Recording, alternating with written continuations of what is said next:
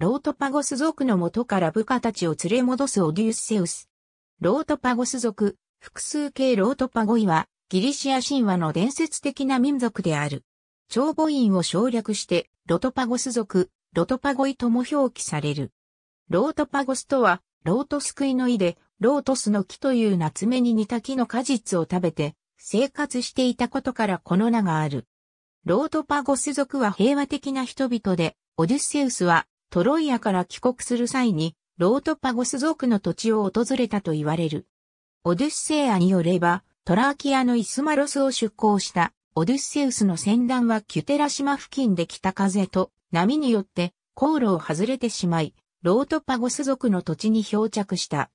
そこでオデュッセウスは部下に土地を探索させたが、ロートパゴス族と遭遇した部下たちは彼らからロートスの果実をもらって食した。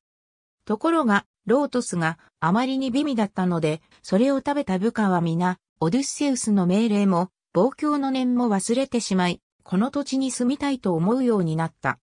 このためオデュッセウスは嫌がる部下たちを無理やり船まで引きずっていき、他の部下がロートスを食べないうちに出港した。ヘロドトスは、ロートパゴス族は、リビアの西部に住み、彼らが食べるロートスの実は、ナツメヤシのような味だったと述べている。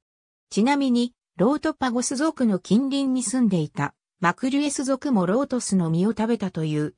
ヒュギーヌスによれば、ロートパゴス族が食べるのは果実ではなく花である。ありがとうございます。